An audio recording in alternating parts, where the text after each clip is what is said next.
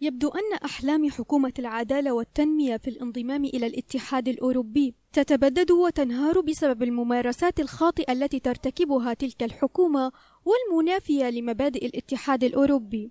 حيث عمقت مغامرات الرئيس التركي رجب طيب أردوغان في شرق المتوسط وليبيا إضافة إلى توظيفه ملف الهجرة في ابتزاز الأوروبيين محط الخلافات مع شركائه.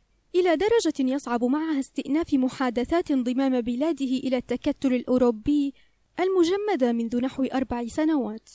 وفي هذا الصدد استبعد وزير خارجية لوكسمبورغ يان أسيلبورن انضمام تركيا للاتحاد الأوروبي خلال الخمسة عشر أو العشرين عاما المقبلة خاصة مع الانتهاكات الفادحة لحقوق الإنسان في تركيا الأمر الذي يصعب انضمامها للاتحاد الأوروبي. وفي المقابل قال وزير الدفاع التركي خلوصي أكار أن بلاده ما زالت تهدف إلى الانضمام للاتحاد الأوروبي وذلك بعد أربع سنوات من تعليق المفاوضات. فيما لم يعد التكتل الأوروبي مهتما كثيرا بإعادة بناء جسور الشراكة مع بلد يهدد مصالحه في شرق المتوسط. ولا تتسق سياساته الداخلية خاصة على مستوى الحريات وسيادة القانون مع المعايير الأوروبية. كما حاولت تركيا مؤخرا إصلاح علاقاتها مع الولايات المتحدة وغيرها من حلفاء الناتو في الوقت الذي يواجه فيه العسكريون الأتراك صراعات مخالفة لقوانين الاتحاد الأوروبي داخل ليبيا وسوريا.